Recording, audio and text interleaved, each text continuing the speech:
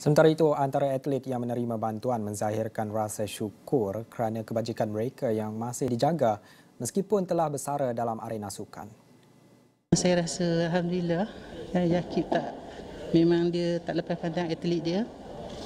Saya syukur kan tiap tahun dia akan panggil. Terima kasih banyak pada Yakib bagi sumbangan pada pekan atlet.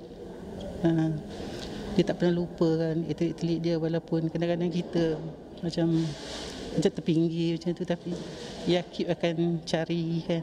Okay, Alhamdulillah bersyukur saya kerana saya selepas saya bersara daripada sukan, saya join uh, Yakib dan uh, setakat hari ini saya rasa Yakib tak pernah lupakan ahli-ahli dia dan saya menyeru pada bekas-bekas uh, atlet kerana apa masih ramai lagi bekas-bekas atlet yang tak join Yakib kerana Yakib ni sentiasa menjaga kebajikan apa juga event pun dia akan bagi tahu pada ahli-ahli yang dah uh, menjadi ahli Yakib lah.